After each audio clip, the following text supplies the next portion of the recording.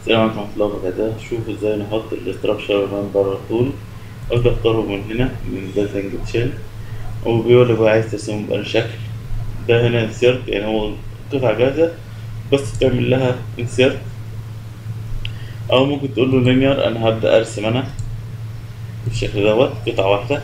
أو ممكن تقول له أنا عايز polyline تبدأ ترسم. أهو. ولما تخلص تدوس مرتين هو يبدأ يحوله لك. بالشكل دوت. وطبعا تقدر تختار المقاس اللي أنت عايزه.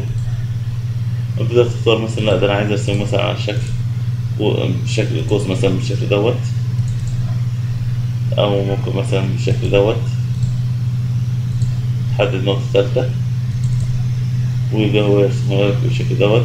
تقدر تدخل في الخصائص تحدد ال ID بتاعك هل هو هيبقى beam ولا girder ولا column ولا structural حد النوع بتاعه حد ال cover بتاعك في ال top وال bottom من ال left ال right ده بالنسبة لل profile ال geometry تبدأ بقى تختار.